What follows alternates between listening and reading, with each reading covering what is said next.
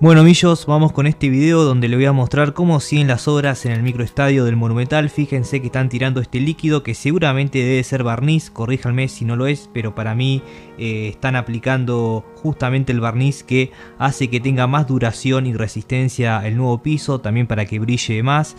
Eh, próximamente se van a colocar, como les dije anteriormente en otro video, las jirafas nuevas, los aros de básquet, también las pantallas electrónicas y acá en el centro de la cancha van a poner como diseño el escudo de River próximamente.